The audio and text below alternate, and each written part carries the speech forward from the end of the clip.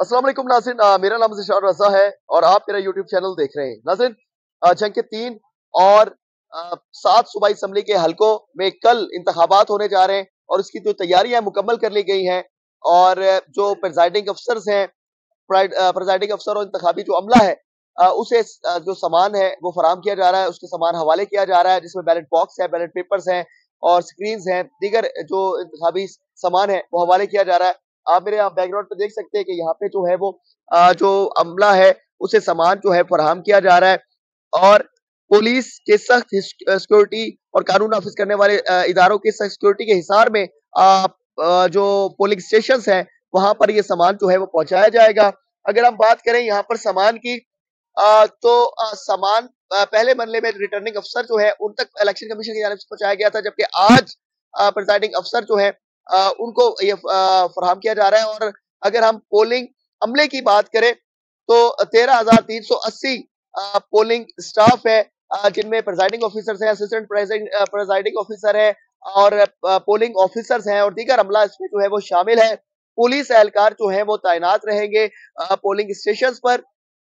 और यहाँ से तरसील का जो सम, आ, काम है वो जारी है। और शाम तक ये शाम से पहले बल्कि ये सामान की तरसील का जो काम है, इसे मुकम्मल जो है वो कर लिया जाएगा और कल होने वाले इंतबात के लिए क्योंकि इंतबी मुहिम का वक्त जो है वो गुजशत रोज खत्म हो चुका है और अब ना मीडिया को इजाज़त है कि मीडिया भी, क्योंकि हमने जो कवानीन है, उसके ऊपर अमल दरामद को यकीनी बनाना है, जबता अखलाक के और जबता अखलाक के मुताबिक जो है वो अब कोई सर्वे नहीं होगा पोल पोलिंग के हवाले से कोई बातचीत नहीं की जाएगी और साथ यहाँ पे मैं आपको बता चलूँ कि जो हिदायत जारी की गई इलेक्शन कमीशन की जानब से, वो सौ मीटर जो है वो दूरी पर ही कैंप कायम किया जा सकेगा। किसी भी पार्टी को, किसी भी उम्मीदवार को पोलिंग स्टेशन से शहर के इलाके में, जबकि 400 मीटर जो है वो देहाती इलाकों में दूर कैंप जो है वो कायम किया जाएगा। इंतबी जो मुहिम का वक्त था, वो गुजशत रोज खत्म हो चुका है और अब जो है वो इलेक्शन की जो तैयारियाँ हैं, उसे हतमी शिकल जो है वो दे दी गई है। सामान की तरसील का अमल जो है वो तेज़ी से जारी है। जंग के तीन कौमी और सात सूबाई असम्बली के हल्कों में इलेक्शन जो है वो होने जा रहे हैं। और इलेक्शन की कुछ डिटेल्स मैं आपके साथ शेयर करूँगा। सबसे पहले आपको कुछ पोलिंग स्टेशन की तफसीलात जो है या तफसीलात मैं आपके साथ शेयर कर दूँ कि यहाँ पे अगर हम बात करें जंग में तो जंग में कुल यहाँ पर तेरह सौ सैतीस पोलिंग स्टेशन कायम किए गए हैं। और यहाँ अगर आप वोटर्स की तादाद की बात करें तो बड़ा रजिस्टर्ड वोटर की बड़ी तादाद है। सत्रह लाख तिरपन हज़ार नौ सौ निन्यानवे पोलिंग जो वोटर्स है रजिस्टर्ड वोटर्स जो है अपना हक राय दही इस्तेमाल करेंगे जिसमें मर्द वोटर्स की तादाद नौ लाख से जायद है। इसी तरह आठ लाख से खातन वोटर्स की तादाद जो है वो जायद है। और आ, मेरे साथ आ, मेरी टीम जो है वो आपको ये लम्हा बलमा जो है वो अपडेट दिखा रही है। इस वक्त ये ताज़ा तरीन अपडेट्स आप देख सकते हैं।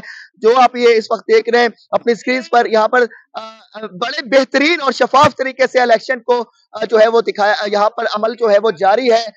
और इनशाला कल भी इसी तरह से जो है वो हम आपको लाइव दिखाते रहेंगे, बरह रास्त दिखाते रहेंगे, बात अब करेंगे तीन कौमी असम्बली के हल्कों की। तो यहाँ पर तीन कौमी असम्बली के हल्कों की अगर हम बात करें तो यहाँ पर जंग के एन एक सौ नौ में चार उम्मीदवार हैं, जो मद्दे मुकाबिल हैं और जिनमें मुस्लिम लीग नून के हैं शेख मोहम्मद याकूब राय हक पार्टी के हैं, मौलाना अहमद उदानवी और आज़ाद हैसियत से इलेक्शन लड़ रहे तरीके इंसाफ के हिमायत याफ्ता है, शेख वकास अक्रम, और इसी तरह अगर हम बात करें, या पीपल्स पार्टी के तो हैदर बुखारी है, पाकिस्तान पीपल्स पार्टी के।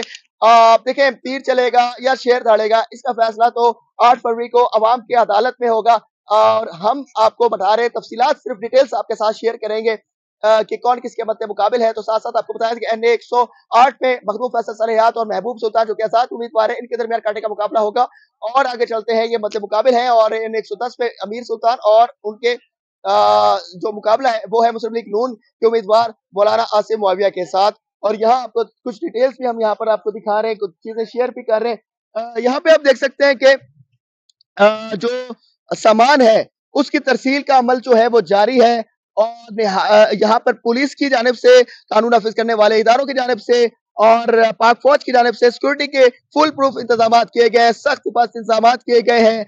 और यहाँ पे इस वक्त क्योंकि तेज़ी से काम जारी है कि ये जो सामान है, जो इंतबी मटीरियल है, ये पोलिंग स्टेशन में जो है वो पहुँचा दिया जाए वक्त पर।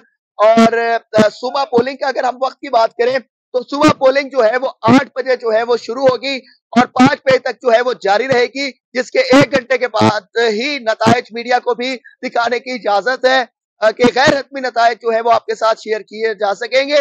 और हतमी नतज तो बाद में होंगे, गैर हतमी नतज की हम बात कर रहे हैं। और आगे साथ साथ आपको बताते चले, आप सुबाई असम्बली के हलकों की तो सुबाई असम्बली के हलकों की सूरत हाल कुछ यह है कि पीपी 125 में तीन उम्मीदवार हैं। मध्य मुकाबले जिनमें जो है मखदूफ सलहयात राय तबूर भट्टी और गुलाम अहमद गार्डी हैं। तो क्या साथ हैसियत से लड़ने? मखदूफ सलहयात नून के नून लीग के जरामत उम्मीदवार इसी तरह जो है वो राय तबूर भट्टी जो है वो आज़ाद हैसियत से इलेक्शन में जो है वो ले रहे। पीपी एक सौ छब्बीस की बात करें तो पीपी एक सौ छब्बीस में जो है वो काफ़ी यहाँ पे उम्मीदवार है। लेकिन अगर यहाँ पर उम्मीदवार जो मध्य मुकाबले उनकी बात करें तो यहाँ पर डॉक्टर यहाँ पे है जी मेहर असलम फरवाना जो कि मुस्लिम लीग नून के उम्मीदवार है, मेहर नवाज़ फरवाना जो कि आसाद एस इलेक्शन लड़ रहे हैं और यहाँ पर जमात इस्लामी के हैं मेहर यहाँ बहादुर खान जगड़ हैं जो इलेक्शन में हिस्सा ले रहे हैं, यहाँ पर मखदूम असद हयात जो कि मखदूम फैसल के भाई है, वो भी एस इलेक्शन में हिस्सा ले रहे हैं तो यहाँ पर बात करेंगे एक सौ सत्ताईस की यहाँ पर राशा याकूब शेख है जो सबका एमपी है और उनके मत मुकाबल जो है, मौलाना मसूर नवाज़ है, वो भी एमपी रह चुके हैं। उसके साथ अगर आप बात करें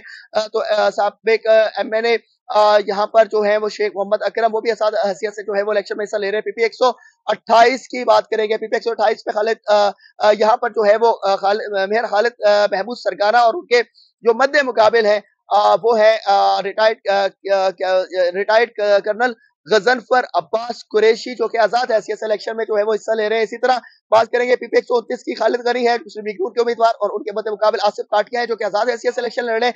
और पीपी एक सौ तीस की बात करें, अमीर अब्बास सियाल, और अमीर अब्बास सियाल के मध्य मुकाबले जो है वो राना शहबाज, जो कि आज़ाद हैसियत इलेक्शन लड़ रहे हैं। और अगर बात करें यहाँ पर पीपी एक सौ इकतीस की तो यहाँ पर जो है वो फैसल हयात जबूवाना है, जो उनके उनके मत मुकाबल फैसल जबूवाना मुस्लिम लीग नून के उम्मीदवार है और उनके मत मुकाबल जो है वो है मियाँ आज़म चेला, जो के आज़ाद हैसियत से इलेक्शन में हिस्सा ले रहे हैं। ये डिटेल्स जो मैंने आपके साथ शेयर की है, क्योंकि हम पोल के हवाले से बात नहीं कर करेंगे और ना ही हम सर्वे के हवाले से बात करेंगे। ये पहले हम कर चुके हैं। आप लोग हमारी वीडियोस देख सकते हैं। हमने सिर्फ़ कुछ डिटेल्स आपके साथ शेयर करनी थी, जो आज भी की है, कल भी की है, और इसके साथ कल इंशाल्लाह इलेक्शन की ताज़ा तरीन लेटेस्ट अपडेट्स जो है, वो हम आप इसी चैनल पे करेंगे इसके साथ आप, आठ बजे से हम आपके साथ जो है, वो शेयर करना शुरू करेंगे। तो एक बात याद रखें, हमें सब्सक्राइब लाजमी कर लें, क्योंकि नतज से लेकर इंतबी मुहिम हम मुस्बत सोच के साथ गैर जानबदार होके इनशाला सबसे तेज, सबसे जो उम्दा कवरेज होगी,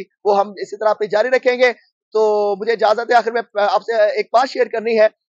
वोट जिसको मर्ज़ी दें, उम्मीदवार जिस मर्ज़ी को वोट दें, जिस मर्ज़ी को पार्टी को सपोर्ट करें, लेकिन आपस में नहीं झगड़ा करना, लड़ना नहीं है, और अमन रहना है। हम सब पाकिस्तानी है, हम सबने अपनी राय हक राय दही को इस्तेमाल करना है।